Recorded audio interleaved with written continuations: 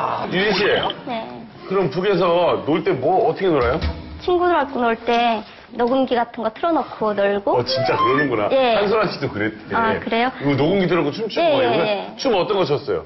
춤이요? 뭐 북한에서 한때 유, 유행하는 디스코. 이거 일어나 잠깐 보여줘요, 저기.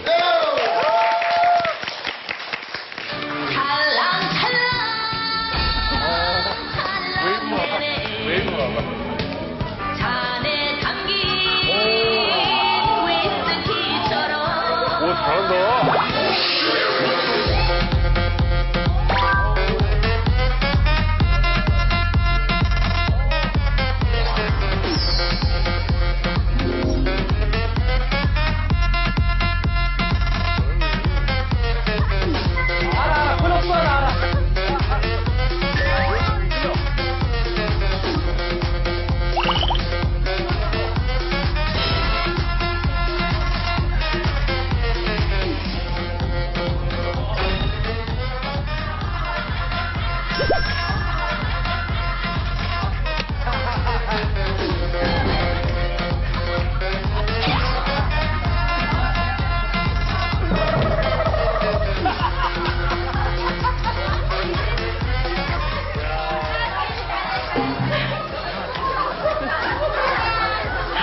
아니, 음악 틀지 말고 샤워기 틀어줄 거 그랬어.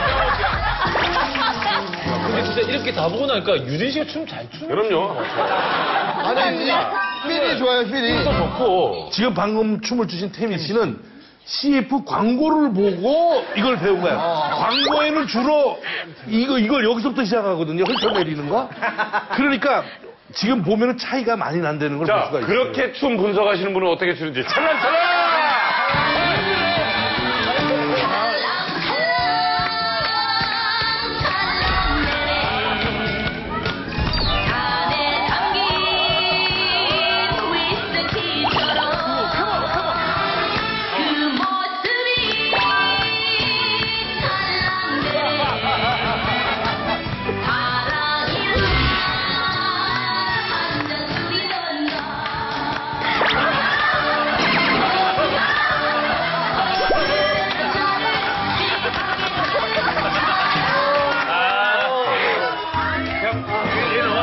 왜 나와요? 아유 땡겨.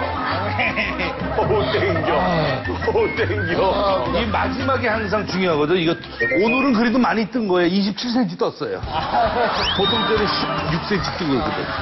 잘한다.